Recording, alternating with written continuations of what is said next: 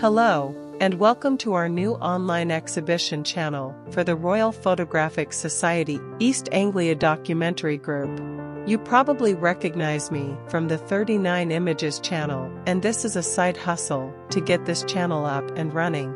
So, you will have been given the link to this content from the group secretary, and you should like and subscribe to ensure that anything new that is posted here is notified to you when you sign on to YouTube.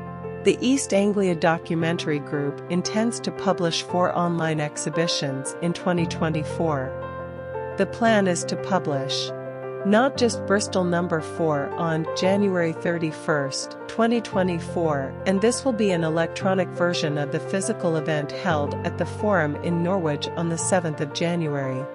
This exhibition, number 4, is all about aviation and delivers our first comprehensive look at Slipstream 24. This 2023 project, which members have worked on throughout the year, and which has already been on show in an abbreviated form at the American Memorial Library in the Forum, is scheduled for final completion on the target date of February 25, 2024. Subsequent to the publication online in January, our aim is to post in 2024. Number 5 on April 30th. Number 6 on July 31st. Number 7 on October 31st. The cutoff for images will be the last day of the previous month. The secretary will publish these dates in the newsletter. Members' images should be sent to rpseadgonline at gmail.com by WeTransfer.